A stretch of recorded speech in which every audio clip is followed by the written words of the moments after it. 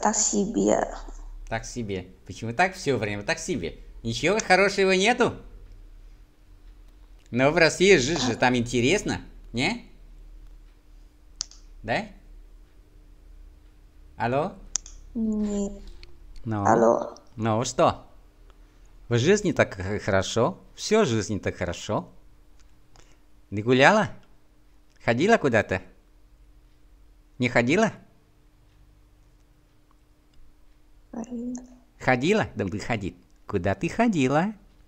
Куда ты ходила? Ай. Я, я не ходила. Не ходила никуда. Я не ходила никуда. À, đấy, хорошо. À, thì như vậy chúng ta sẽ tiếp tục bài học ngày hôm nay của chúng ta chúng ta sẽ cùng nhau ôn à, củng cố lại các cách của chúng ta đấy.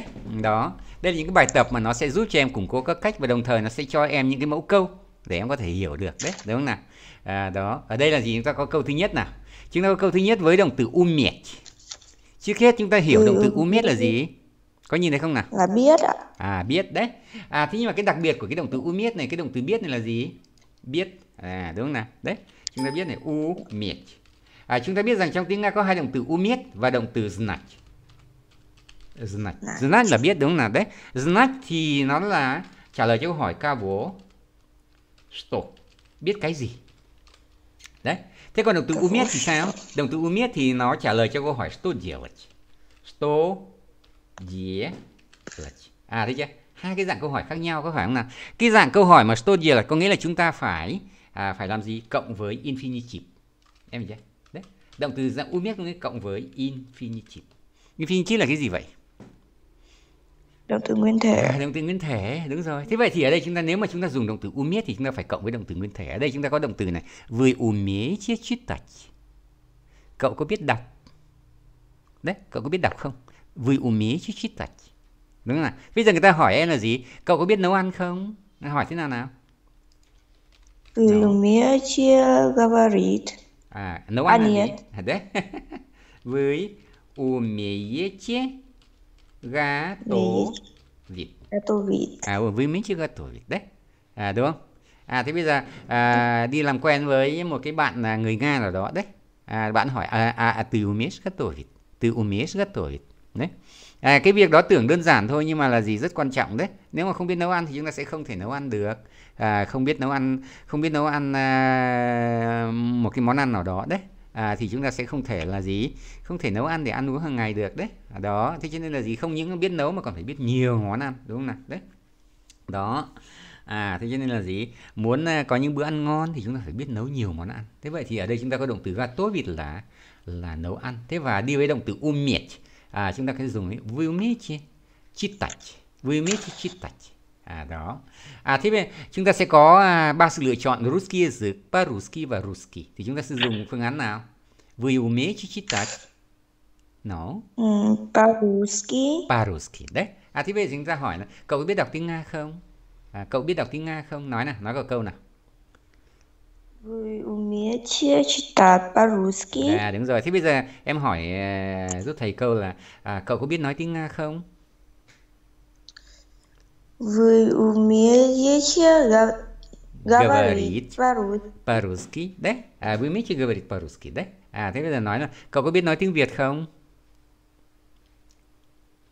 Вы no умеете э, говорить э, по-вьетнамски? по-вьетнамски đúng rồi đấy à хорошо chúng ta xem câu 2 nào tươi bướng cái câu hỏi tươi bướng bướng là ở đâu là cậu ở đâu thì bây giờ trả lời câu hỏi gì откуда tươi bướng откуда tươi bướng hay là где tươi bướng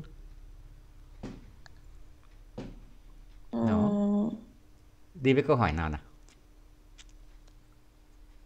No. À. No, có nhớ không nào? Có biết không nào? À, kuda. À, chúng ta nhớ nhé. À, kuda là hỏi với động từ chuyển động. Mà bứt thì không phải động từ chuyển động, đúng không nào? Bứt thì luôn dạ. luôn đi với cái gì? Cái gì bứt. Đấy, nhớ chưa? Nếu mà có bứt thì phải là cái gì? à, luôn luôn nhớ như vậy nhé. À, đồng ý không? Thế vậy CUDA và atkuda thì chỉ dùng với động từ chuyển động. Ý là đấy. À, kuda đấy. À, và atkuda à, thì nó cộng với động từ chuyển động. Nhớ như vậy nhé. Động từ chuyển động. À, động từ chuyển động đó là động từ những động từ gì nào? Ichi đấy. Khá khajit có phải không?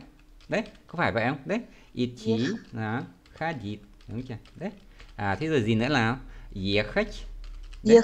À, ездит. À, đúng chưa? Đấy. Đó. Thế vậy thì khi mà có động từ chuyển động thì chúng ta mới dùng động từ kuda, kuda. Thế còn khi có bứt thì chúng ta phải dùng động à, câu hỏi là где. Đấy. Đồng ý chưa? Dạ. Khá- Хорошо, đấy. Dạ. À, đó thì như vậy là ở đây chúng ta đã à, có khái niệm à, như vậy rồi. Bây giờ chúng ta sẽ cùng nhau xem tiếp phần ừm, phần bài bài 3 nào. À đó. Hưng, Dạ. à, bé Hưng lại hỏi gì đây? Đó. Đi mở. Thế tiếp theo nào. À, câu 3 của chúng ta nào. Я часто смотрю передачи à, на телевизоре, в телевизоре hay là по телевизору? Nó. Vờ. Vâng. Vờ chelia vì zero. À, đấy đấy ở đây chúng ta phải nhớ rằng là à, danh từ giống đực mà có đuôi u đấy danh từ giống mà có Dạ. đuôi u thì đó là gì nào? Đó là danh từ ở cách 3 Thấy chưa nào? Đấy. Mà giới từ vờ na chỉ có ở cách 4 cách 6 Thấy nào? Đấy. Cách 6. à, giới từ vờ đấy. À, chúng ta có này.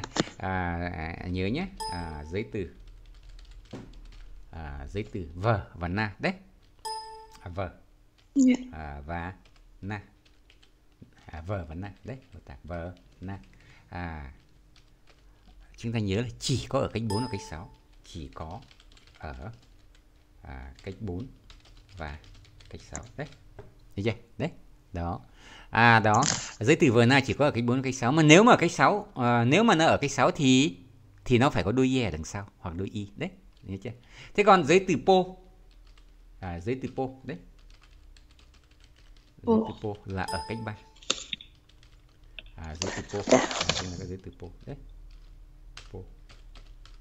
là ở cách 3 ở? Cách 3 giới từ po ở cách 3 tạc. Đây, à, tạc. nhớ như vậy nhé. À thế cách 3 đặc trưng của cách 3 là gì? Đặc trưng của cách 3 là gì nào? À, chúng ta xem đặc trưng của cách 3 nhé. À, đặc trưng của chúng ta ở cách 3 đây. À, cách 3 giống được thì có đuôi u dụ televisor đấy televisoru thấy chưa nào? Đấy. À, giống chung cũng là Dạ. đuôi u dụ đấy. Giống cái có đuôi ye ý và số nhiều có đuôi am giảm à đó. Đó là đặc trưng của cách 3 à có phải không thế vậy thì ở đây chúng ta nhìn thấy là à, chúng ta phải nói là po po là cách 3 mà giới từ po po televisor Dạ. thế vậy thì cái ý nghĩa câu này là gì я часто смотрю передачи по телевизору à đấy à tức là tôi thường xuyên xem các chương trình передачи là các chương trình truyền hình đấy передачи передачи à, передачи là các Передачи. chương trình truyền hình à, em hiểu chưa nào передачи là chương trình của truyền hình передачи đấy có thể là radio передачи là chương trình truyền à, âm thanh của radio đấy à, gọi là chương trình radio thế còn thông thường chúng ta nói передачи thì thông thường đó là là à, truyền hình à, hoặc là truyền âm thanh đấy я часто смотрю передачи по телевизору по телевизору я часто смотрю передачи по телевизору đọc là по телевизору thì vậy thì cái tập hợp từ по телевизору đó là một tập hợp cố định em chưa đấy М. Я часто смотрю передачи по телевизору. À, так, хорошо. Chúng ta xem câu 4 nào. Ты часто ходишь. À, bây giờ chúng ta sẽ có giới từ verna. Đấy. À, verna thì ở đây nó sẽ có à, hai hai dạng à, cách. Cách có thể là cách 4. Alo à? Đấy, em có nghe thấy không nào? Em có nghe thấy không? Alo. Đấy, không nghe thấy à? Nó. Đấy, à chúng ta nhớ rằng là ở đây người ta chỉ cho hai giới từ. Chúng ta hai giới từ, vờ và na. Đấy. Vờ và na này Vâng. thì nó có thể là ở cách 4 hoặc là ở cách 6. Vậy thì khi nào ở cách 4 và khi nào cách 6? Nó. Cách 4 là khi nào nào? À đấy. Đúng không? À bây giờ chúng ta sẽ cùng nhau giới từ vờ na cách 4 nhé. À, vờ và na cách 4. À đúng không? Chúng ta sẽ à, ghi là à, giới từ vờ và na. Đấy, vờ. À, na. À, vờ và na. À, chúng ta sẽ viết như này. À, ở cách 4. Ở cách 4 đấy. Cách 4. Nếu ở cách 4 thì sao nào? Nó chỉ cái gì? Chỉ phương hướng. Có nghĩa là gì? Có nghĩa là gì? Trong câu phải có động từ chuyển động. Đi với. Đấy. đi với động từ chuyển động đúng chưa à, đó Dạ. à thế bây giờ giới từ vờ nam ở cách 6 thì sao giới từ vờ na ở cách 6 Chỉ à chúng ta sẽ nhìn giấy từ verna ở cách 6 đấy đây là cách 6 đúng không? À thì nó sẽ chỉ cái gì? Nó chỉ địa điểm. Nghe chưa? Chỉ địa điểm. À đúng không? Nếu mà chỉ địa điểm thì nó đi với những cái động từ mà đòi hỏi trả nó trả lời cho câu hỏi good gì? Đấy trả lời cho câu hỏi. Ở đâu?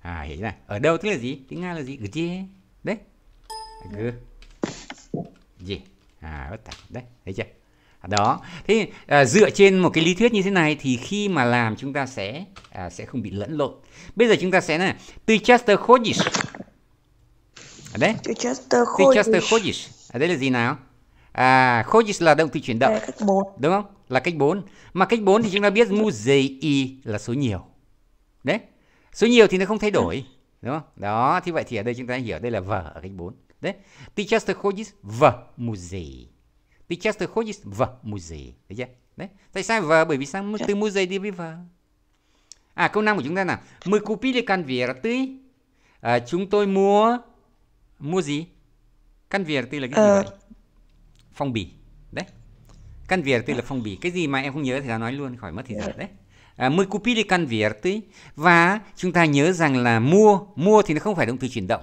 nó trả trả lời câu hỏi gì vậy trả lời câu hỏi là где à, đúng không là mua ở đâu cậu mua ở đâu đúng không đấy à thế vậy thì cái từ pochta này là bưu điện bưu điện thì luôn luôn đi với Vâng. giấy từ na chúng ta phải nói là gì мы купили конверты на почте на почте đấy мы купили конверты на почте thấy chưa nào Đặt đấy à đó tiếp theo nào chúng ta sẽ nói nào Anton учится à учится là động từ gì vậy không phải là động từ chuyển động Учи- Là Có phải bình thường. à là động Vâng. từ thì nếu mà không phải động từ chuyển động thì nó sẽ dùng giới từ vờ na cách 6 và nó chỉ địa điểm trả lời cho câu hỏi где где где Anton учится он учится chúng ta biết cái từ kurs là sẽ dùng giới từ na hay vờ nào nó tự làm nào tự làm mới nhớ được thầy nói sẽ không nhớ nó Kures. Kurs,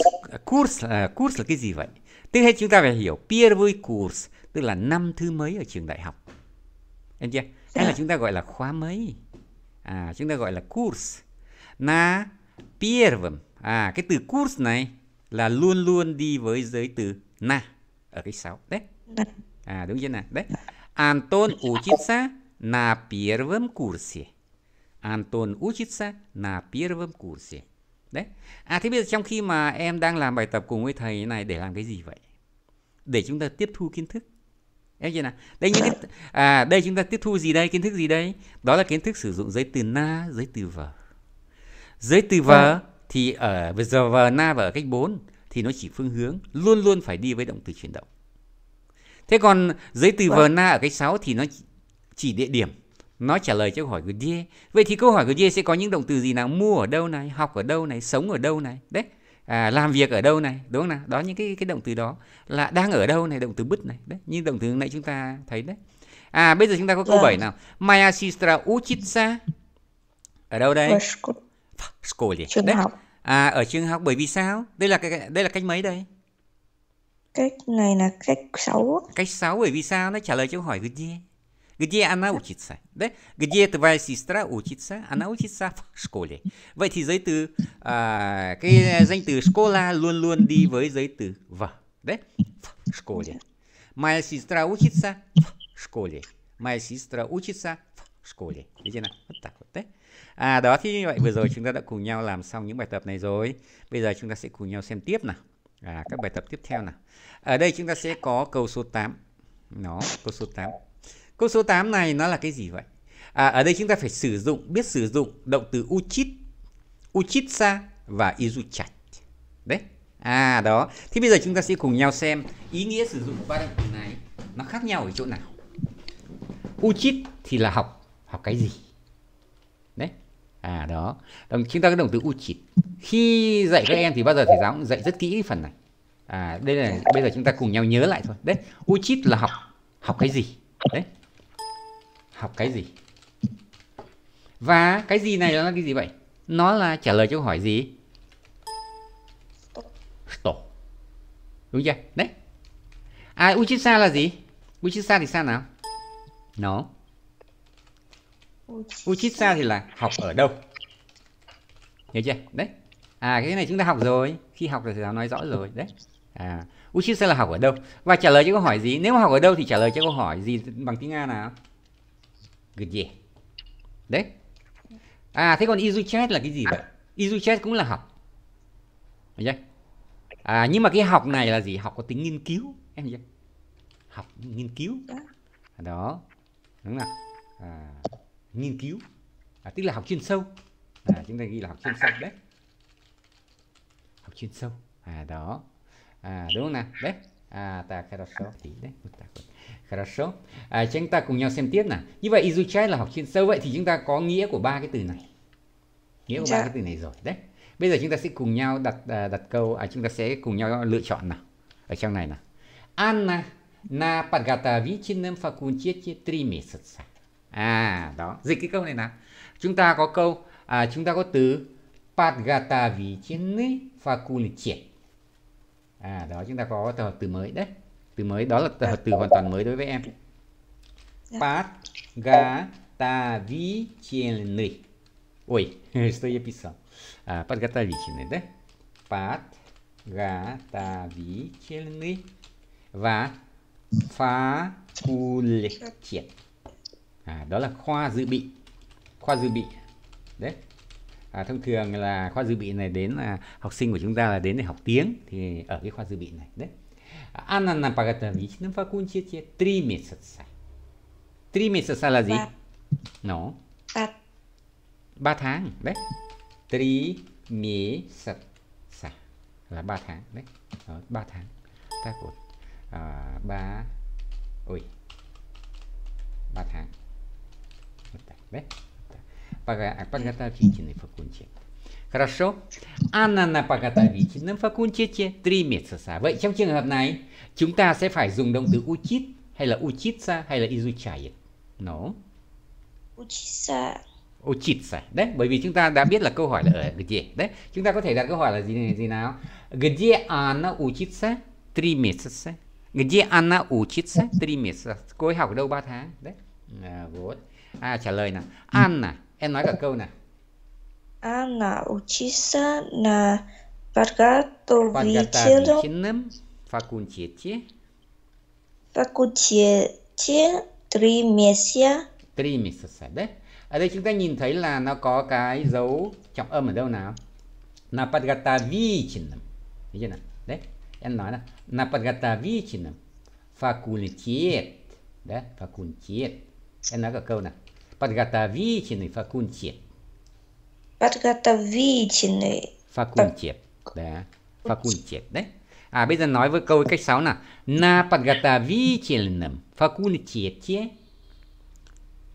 на, под- э, на подготовительном по факу- факультете факультете факультете 3 месяца. три месяца. 3 месяца, да? На подготовительном факультете 3 месяца là ở trên khoa dự bị 3 tháng đấy. Bây giờ chúng ta có câu số 9 nào. À, Ma Maria физику и математику. No. Да. Maria Ờm, физику и математику.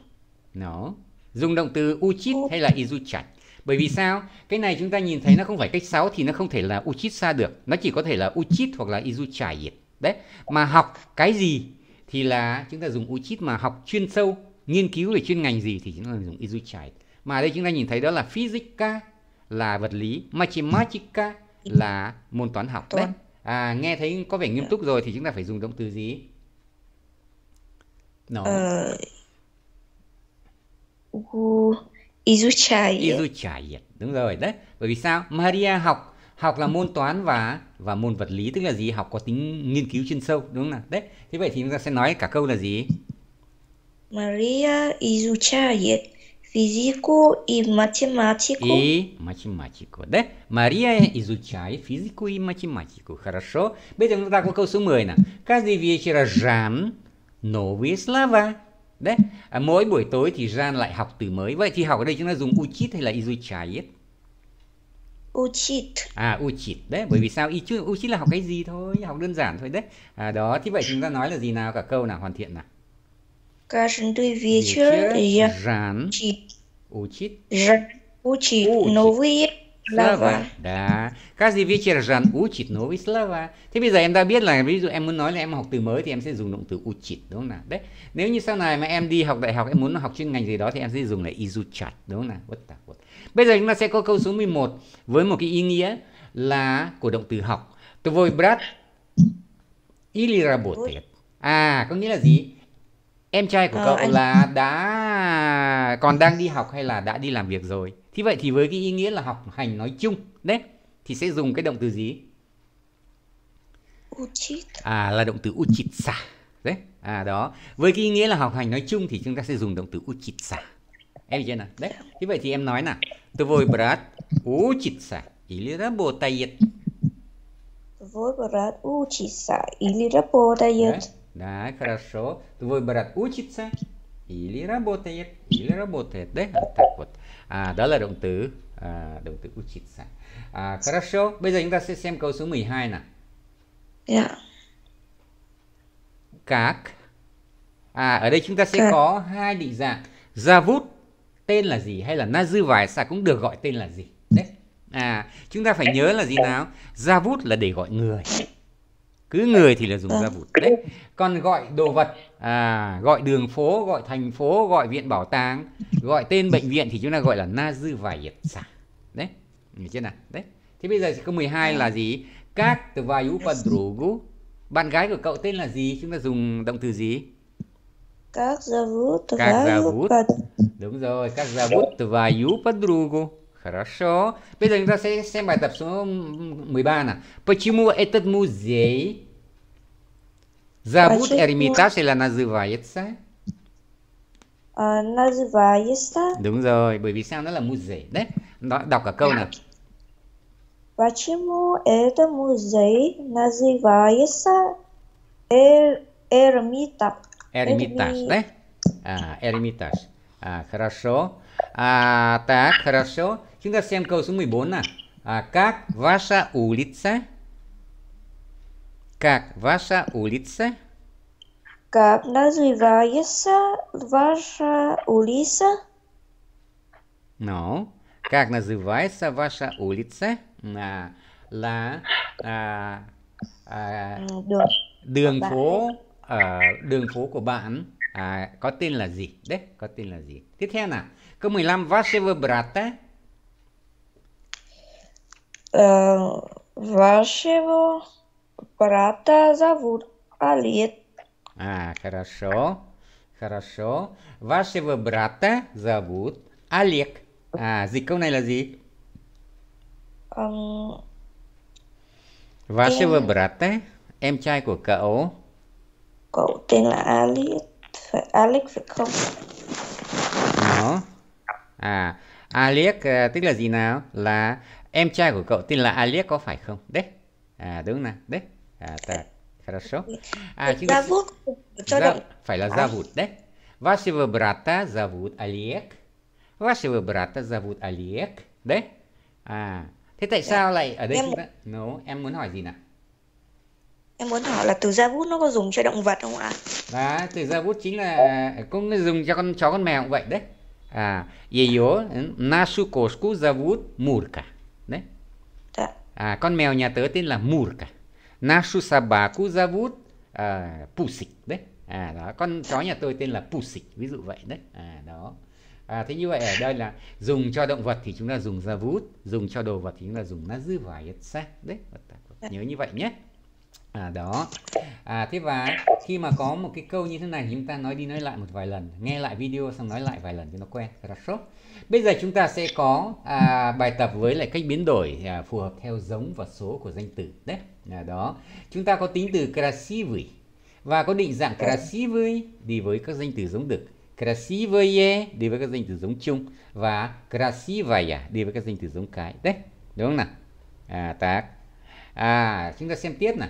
À, câu của chúng ta nào. Это здание очень Красивое. красивое. Đấy, em nói lại. Э- Это здание очень Это здание очень красивое. Очень хорошо. À, bởi vì sao? Здание đó là danh từ giống chung cho nên có đuôi tính từ là ой. Đấy. Хорошо. Câu số 17 của chúng ta. À, около института находится старый có park, озеро, площадь. Park là công viên, danh từ giống được озеро, danh từ giống chung là cái hồ và площадь đó là quảng trường, danh từ giống cái. Đấy. Đó. À, bây giờ chúng ta sẽ nói câu nào. Около института Около института находится старый парк. Starry Park. Хорошо. Trong câu này chúng ta học được cái gì nào? Trong câu này chúng ta học được tập hợp từ около института. Chúng ta có từ около. Около là có nghĩa là gì nào? Ở gần. Đấy. Около có nghĩa là Ở. ở gần. Ở gần. Ở gần cái gì thì nó cộng với cách hai. Cộng với cách hai. Đấy. Institute cho nên institute nó chuyển thành instituta. Mà chúng ta biết rằng là đối với cách hai của chúng ta, đấy, cách hai thì danh từ giống được sẽ thêm a và ya. Institute là danh từ giống được cho nên nó thêm đuôi a. Nhớ chưa nào? Đấy. Так вот. Хорошо. Vâng. À, đó chúng ta có học được một cái tập hợp từ là ở gần cái gì đó. Около. Около. Ô. Đấy. À, nhớ trọng âm rơi vào ô. Около. Так, đấy. Так. Chúng ta sẽ để à, trọng âm ở đây. nhé. Около. Вот так. Около института находится старый парк. Хорошо. Câu 18. Познакомься. À, chúng ta có động từ познакомься là thức mệnh lệnh. Cậu hãy làm quen đi. Пожалуйста. Dạ. Это мой Это мой э, папа. papa. Bởi vì sao? Danh từ papa là danh từ giống được. Đấy. Cho nên môi đi với danh từ giống được. Родители là gì nào? Số- Родители nhiều. là số nhiều chỉ cha mẹ đấy. Mama là danh từ giống cái chỉ mẹ. Cho nên là gì? Chúng ta phải nói là познакомься это мой папа. Хорошо. Chúng ta lưu ý à, thức mệnh lệnh познакомься. Познакомься đấy. Познакомься là hãy làm quen đấy. À, chúng ta muốn bảo ai đó làm quen với ai đó thì chúng ta sẽ nói познакомься. Познакомься, пожалуйста. Это мой. Nói lại cả câu nào. Познакомься. Позна... а, Познакомься. Пожалуйста, это мой папа. À, хорошо, хорошо. À, так, tiếp theo nào. Chúng ta xem tiếp nào. À, câu 19 của chúng ta. Мое висит в шкафу. Мое Ờ. висит в шкафу. Đấy. Мое висит. À, Мое пат- па- палито, палито, да. Мое gì nào? Мое. Nó. Dùng danh từ gì? danh từ giống chung. À, danh từ giống chung đấy. À, em nói lại cả câu nào. Mayo Planita Blatlita Visit Vashkafu Skafu uh, Mayo Palto. Banto. Palto. Đấy, em nói là Pali Palito Palito Mayo Palito Visit Vashkafu Nói lại nào Mayo Мое пальто. пальто висит. Шкафу. Шкафу. Да, висит в шкафу. Да? Мое пальто висит в шкафу. А, хорошо. Мое пальто висит в шкафу. À, tác вот. Đó là à, câu 19 của chúng ta. Bây giờ chúng ta sẽ cùng nhau xem tiếp. À, nào. Câu 20 nào. Наша семья живет в. À, bây giờ chúng ta sẽ phải dùng tính từ ở cách 6. Mà tính từ ở cách 6 thì chúng ta sẽ cùng nhau xem tính từ cách 6 nó sẽ biến đổi như thế nào nào. Tính từ cách 6. Đấy, chúng ta sẽ có cách 6 này. Đấy, một cách 6. Cách 6 của tính từ sẽ có giống được sẽ có đôi ôm yểm. Giống cái sẽ có đôi ôi dày Và số nhiều sẽ có đôi ước ít. Nhưng hiện nay chúng ta đang ôn lại phần số ít cho nên chúng ta chỉ quan tâm đó là đôi ôm hoặc đôi yếm, đôi ôi hoặc là đôi yể. Đấy. Đó. Thế bây giờ chúng ta sẽ có câu là Наша семья живет. À, chúng ta dịch câu này trước nào. Ờ, gia đình của tôi sống Sống ở ở nhà mới. à ở một ngôi nhà mới. Đấy. Thế vậy chúng ta nói sao nào bằng tiếng Nga nào. Наша семья À. живет в Наша семья живет в э, No. дом, ờ, в новом Novum. Đốm Đấy. À chúng ta biết rằng là cách sáo đuôi ở đây là gì? Giống đực cho nên là gì? Sẽ có đuôi ôm. Đấy. À, giống cá thì mới có đuôi ôi đúng không nào novui là định dạng à, gì là định dạng của cách một cho nên chúng ta bỏ qua luôn đấy à, định dạng novơi thì là định dạng của giống cá chúng ta bỏ qua bởi vì danh từ đây là danh từ giống đực cho nên chúng ta sẽ chọn định dạng novum наша семья живет в новом доме À, так хорошо. Chúng ta sẽ cùng nhau xem tiếp. À, động à, ở câu số 21 thì chúng ta sẽ phải dùng tính từ интересная, интересную, интересный. Trước hết ý nghĩa của tính từ này có nghĩa là thú vị. Đấy. Và chúng ta có một từ mới đó à, là từ statia. Statia có nghĩa là một bài báo. Đấy. Statia. À đấy. Thế còn tất cả những từ khác em biết hết rồi. Bây giờ em tự đọc và tự trả lời nào.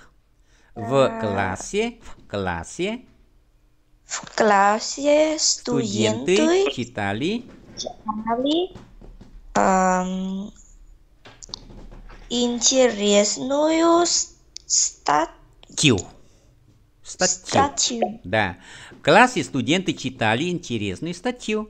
À, в классе студенты читали интересную статью. Chúng ta dịch câu này sang tiếng Việt nào. Ờ, ở lớp học các bạn đọc báo rất À, thú vị. đọc một bài báo. Đấy. Đọc một Dạ. bài báo thú vị. Ở trong lớp. Đấy. Ở trong lớp. À, các sinh viên đã đọc một bài báo thú vị. Хорошо. Câu uh, 22, 23, 24 thì chúng ta sẽ có chung một tính từ đó là tính từ vysokie, vysoki và vysokie có nghĩa là cao. Đấy. À bây giờ Cao chúng ta sẽ vui. cùng nói câu số 22. Это здание очень Это здание очень э, высокое. высокое. Bởi vì sao? Здание đó là danh từ giống chung. Đấy. À chúng ta xem câu số 2 với лесу. В лесу À chúng ta Với có chúng ta một có danh từ này. Chúng ta có danh từ dеревья. Dеревья đó là nhiều những cái cây. À số nhiều. Đấy. Thế vậy thì số ít của cái danh từ này là gì? Một cái cây thì sao? Bây giờ chúng ta chúng ta nói một cái cây thì sao? Một cây của nó đó là дерево. Дерево. Дерево. Đấy. À đó. Thế và à, từ này à, trọng âm sẽ rơi vào đây. Đấy. Дерево. À đây là danh từ số ít đó là danh từ giống chung đúng không nào? Đấy. À đó. Đây là danh từ giống chung. Giống chung đó là средний срод đấy. À, giống chung. À, chúng ta sẽ ghi giống chung. Đấy. Giống chung. Вот так. Đó. Đây là danh từ giống chung. Cho nên là khi sang số nhiều thì nó biến đổi đặc biệt cho nên là thành деревья. Деревья. Đấy. Я Деревья. Thế vậy thì chúng ta sẽ nói như thế nào? В лесу. в лесу В лесу. высокие деревья. Chúng ta sẽ nói в лесу trọng âm rơi vào u. Em nói lại nào. В лесу. В В лесу. лесу В лесу. выс- Высокие деревья. деревья. Деревья. Đấy. Дерево thì là số ít. Деревья là số nhiều. Đấy. À, Хорошо. Về- Chúng ta có từ có câu 24 là môi брат. Мой брат, м, мой, мой брат высокий, Высокий. Đấy, bởi vì sao? Brat là danh từ giống được cho nên đây phải là высокий. Ý nghĩa của nó là gì? Môi brat высокий có nghĩa là gì nào? anh trai của tôi cao. Anh trai tôi cao. Đấy, thế bây giờ nói em gái của tôi cao thì nói sao nào? Ờ, Моя сестра сестра. Nó высокая, высокая. кая. Высокая. Đuôi aya. Đấy. à chúng ta biết rằng là đuôi giống cái là đuôi ai à thế nào? Đấy. Thế và em nói là không nói Maya mà nói Maya. Trọng ơn rơi vào già Maya. Maya nói là Maya. Maya sistra. Maya sistra. Đấy, bây giờ nói mẹ tôi nào. Maya mama. Đúng rồi. Bây giờ whistle okay. Bây giờ nói gia đình tôi nào, không nói cao nữa mà chỉ nói tập hợp từ gia đình của tôi nào. Maya.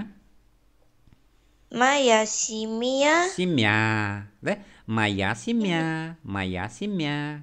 Bây giờ nói cái ô tô của tôi nào.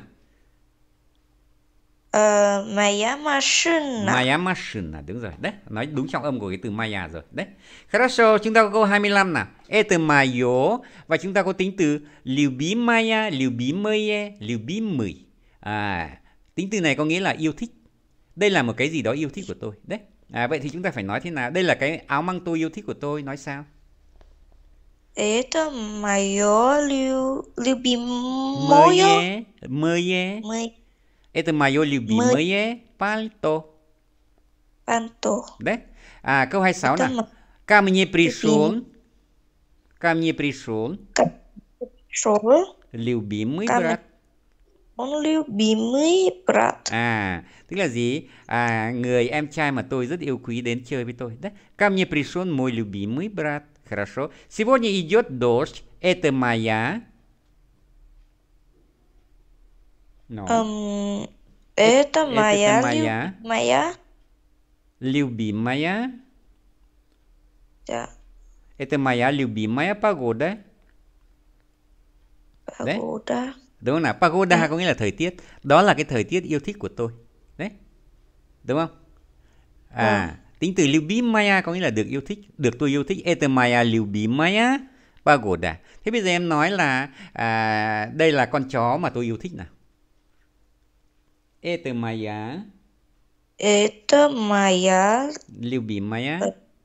Lưu bí maya sabaka sabaka sa sa. Sửa sờ thông thường thôi. Собака. Sa sờ sờ. Собака. Собака. Em nói là собака. Nói. Это моя любимая собака. Đúng rồi. Thế bây giờ nói đây là con mèo yêu thích của tôi nào. Это мой любим... любимый кот. Хорошо. Cốt là con mèo đực đấy. Con mèo cái là кошка. Đấy. Nhớ chưa nào? Это мой любимый кот. Это моя любимая кошка. Đấy, вот так вот. Хорошо. À, thế đây là cái màu mà tôi yêu thích nào. Это мой любимый Это мой любимый цвет. Свет, хорошо. Это мой любимый свет. Это очень хорошо. À thế mà nói đây là cái người mà tôi yêu thích nào. Это мой любимый Это... Это мой любимый человек. человек. Đúng rồi, đó là đây là cái người mà tôi yêu thích đấy. À вот, вот это мой любимый человек đấy. À đó, ví dụ giới thiệu bạn bè là à, mình có một anh bạn trai đấy, nó giới thiệu nó это мой любимый человек. Đấy, đấy là người mà tôi yêu thích kiểu thế đấy. À nói nôm na cái câu đó nó có nghĩa là đây là người yêu của tôi. Đấy, так вот. Хорошо. Dạ. Chúng ta xem câu số 28, chúng ta sẽ có các đại từ я, у меня và мне. Đấy. À так. À, сегодня нет свободного времени. Chúng ta phải dùng đại từ gì?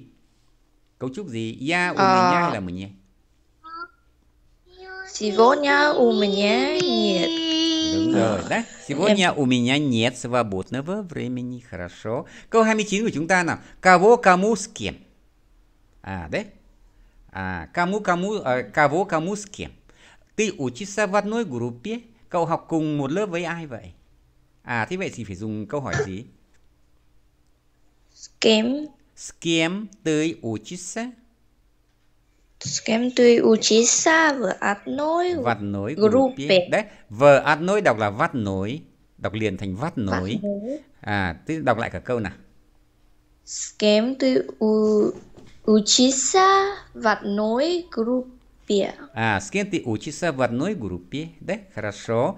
Câu 30 của chúng ta nào. Вчера я встретил à, твоего, твоему, твои, с тв- с твоим друга. Ам, вчера я Встретил встретил, встретил твоего друга. твоего. Dây vào ô. Твоего. Nào. Твоего. Вчера я встретил твоего друга. Твоего друга. Да, в- вчера я встретил твоего друга. Да? А, так. Вчера Вчера я встретил встре- твоего друга. Да? А, nào? Да? Вот так вот. А, хорошо. А, так, tiếp theo nào. Я видел в театре. Я Эту видел с этой, этой. Я видел... Ну, кого? Gì nào? Эту Эту, đấy. Эту. Эту là này. Đúng không nào? Đấy. Эту là này. À, em có nhớ cái đại từ này không nào? Đại từ эту. có nhớ không cái cái cái hôm đấy đang học xong rồi nó bị nhảy sang cái khác rồi ạ à thế cái hả đại từ chỉ định em không chưa được học à, không nhớ lắm hả đang học thì nó nhảy sang cái khác là thế nào vậy